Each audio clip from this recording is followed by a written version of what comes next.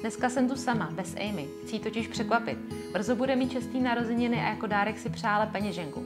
Tak ji teď spolu jednoduše vyrobíme.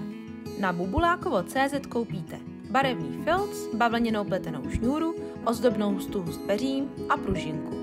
Dále budete potřebovat ruličku od toaletního papíru, akrylové barvy, štětec, nůžky a tavnou pistoli.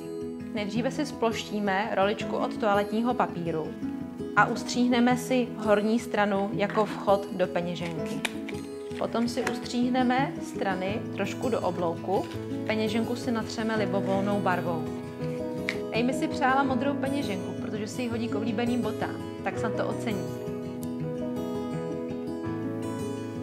Zatímco nám bude peněženka schnout, tak si vyrobíme z barevného filcu zuby a oči.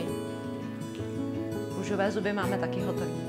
Místo vlasů si ustříhneme barevná pérka. A teď si z barevného provázku ustříhneme ještě ručičky. Peněženka už je suchá, takže slepíme obě dvě strany, aby nám z nich nepadaly penízky.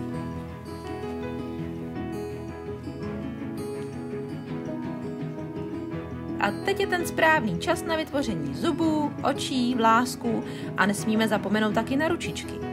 Nakonec motáme pružinku a nalepíme ji jako ozdobu do prostřed čela.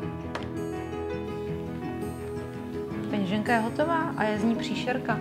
A aby měla Amy ještě větší radost, tak jí do toho dáme pár penízků. Dárek už mám připravený, teď už je na Amy, jak peněženku a peníze využije. Více kreativního tvoření najdete na pigi.cz a pigimama.cz.